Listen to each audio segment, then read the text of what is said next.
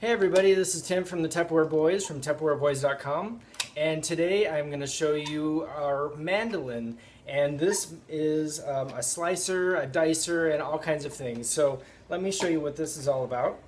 It comes with the uh, straight blade here and it also comes with an attachment that you can pull out from underneath which has the wedge attachment so you can make waffle slices or crisscross slices as well. So I'm going to show you both of those. Um, I'm also going to be using our silicone baking mat. We're going to be making some potato chips today and we're going to be using regular potatoes and putting them in the oven. Now the silicone baking mat is great because it's not going to stick to it. It's also not going to allow the uh, whatever you're cooking to stick to your pan. So you're going to have nice clean baking items. Um, so we're going to use that for um, our potato chips today. Alright, so if you look on the side here, the side knob here has a dial so that you can raise or lower the platform so that you can um, determine what size of the wedges that you are, or slices that you are wanting to make. Um, so as you can see it's on the zero or lock position. As I move that up you can see the level is raising so I can make, make the slices as big or as skinny as that I want them to make. Um, so let me just put them on a, let's do a 3, and that will give us a nice size little slice there. Um, also, there is a lock button here, and you can either raise that or lower that to a, um, a 6, which brings up the smaller grooves, or a 9, which brings up the wider grooves. Now, these are also blades, and they, they can be used for dicing your products. So it makes a great hash browns or anything else that you want to dice up, you know, celery, carrots, anything like that. So we're going to make that back to the flat so that we're going to use the flat blade and we're going to make some slices here. I'm going to show you some uh, lemons first, uh, so let's go ahead and show you what we have with this. We're going to be using, I have uh, some lemons here that I've taken out of the refrigerator, and this is our Fridge Smart. Now the Fridge Smart system is something that's going to keep your fruits and vegetables up to four to six weeks, depending on which product you're uh, using, which vegetable or fruit. Um, on the front here, there is a little uh, graph that tells you what fruits are breathers at what different levels. So, for instance, a broccoli is a high breather, so the broccolis are going to need a high level. Um, there is a dial in the front, so you mark that onto the high. There's also uh, items like strawberries or celery that are no breathers or very low breathers, so you want to put those in the low. And there's also items from the middle too that you want to mark um, so that they are breathing at the right consistency. Um, also on the inside, these have been redesigned so they have pools in the bottom so they actually are collecting any moisture um, water or moisture is what starts the decay process, so you want to make sure to store your fruits and vegetables dry and dirty. So you put them in there, select the proper level that you're going to put uh, in your refrigerator, and then they all stack on top of each other so the air is uh, available to breathe all the way around it. So I'm going to, um, and this is the medium deep. Um, this one is the medium, uh, I'm sorry, the small, uh, shallow dish. All right, let's go ahead and slice up some lemons using our mandolin. So I'm going to go ahead and take a, I have a couple of uh, lemons here, so I'm going to take one of these. And you always want to use the guard. The guard is going to protect you from cutting your fingers, so you always want to use the guard um, so that you're not slicing your fingers instead of the fruit. So um, you want to go ahead and stick that in. There's prongs in here. If it's a larger fruit, there's also prongs on the outside, so it's going to grab onto whatever you're slicing. So we're just going to put this in here you'll notice the top of it raises up and then I'm going to just slice down and uh, make some great slices. So let me show you how that works.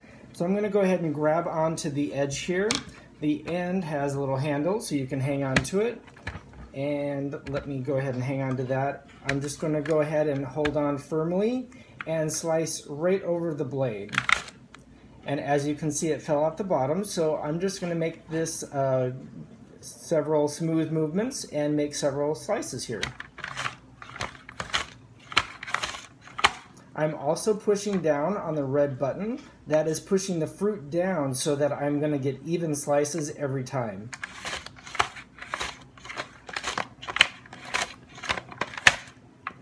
All right, so that is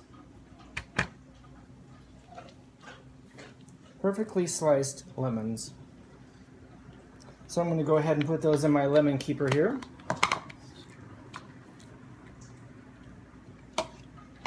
Alright, so let me go ahead and show you how thinly we can do potatoes. Alright, so now let's go ahead and make some uh, hash browns. So uh, with that we're going to dice up uh, potato. You can also dice onions with this or anything else and it makes the perfect little cubes. So what I've done is I've moved the um, center blades up to a number 6, so it's going to be the small blades. And I've moved this over to the number 6, so it's going to be the, uh, the second to lowest um, slice as well. So let me go ahead and show you how to do this. Um, so with the dicing, you're going to slide up, which slides up the blade. You're going to turn it and then slice down. Slide up, turn and slide down, just like this. Go up, turn and slide down. Go up, turn and slide down.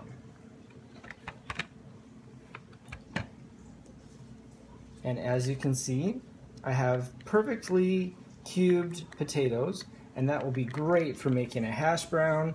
Um, if you wanted to dice an onion, that is just perfect looking. It gives the perfect little uh, cubed um, every single time. So let me just move the blade up to the higher level so you can see what the higher blade looks like.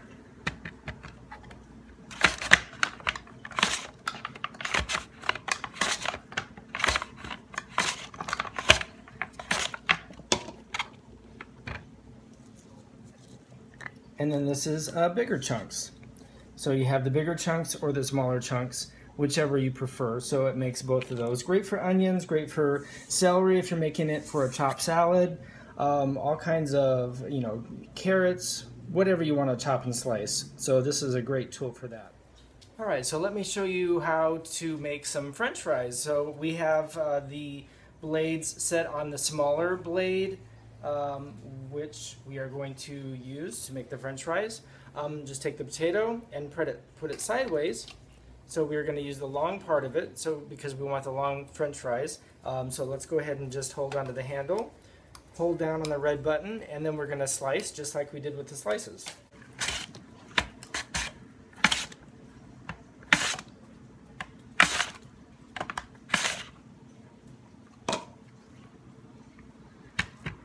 And as you can see, we have some great looking potato, French fried potatoes. So you can either fry those or baking, bake those on the silicone baking mat. You can also turn up the dial so that it's using the larger blades and that way it will be uh, larger size, but um, this is the perfect little size for a french fry, about the size of McDonald's french fries. Let's go ahead and change blades and use the waffle blade so that we can show you how the waffle function works. Um, the blades just pop right out, so you just pop out and pop in the new one. And then we're going to make sure the center blade is at a zero, so there's no center blade. And the waffle is, um, let's do a, uh, let's do maybe a two um, to make some thin cut waffle chips.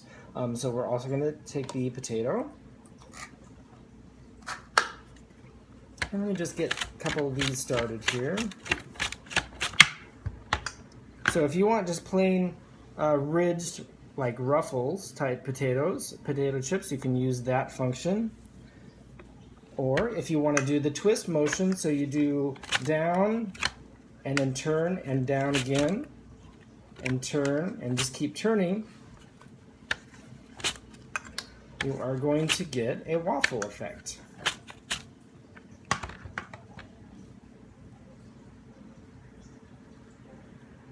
So as you can see, it's now a waffle cut.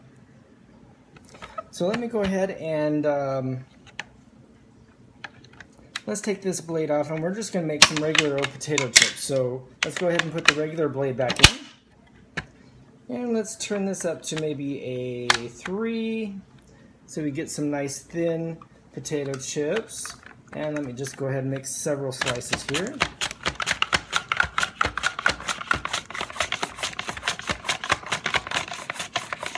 All right, so let's see what these look like.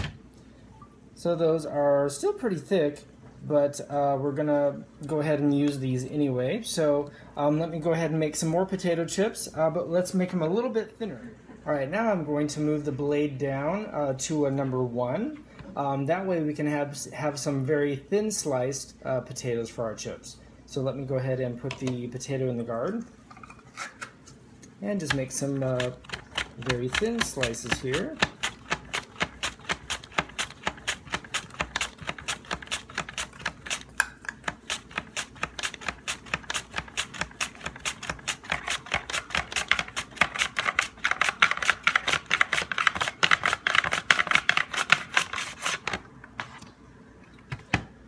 All right, so look at this. Look at all these slices that we've gotten.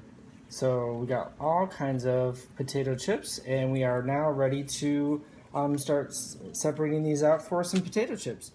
All right, so I've kind of uh, spread out all of the potato chips on the silicone baking mat on top of a cookie sheet so that they're not going to stick.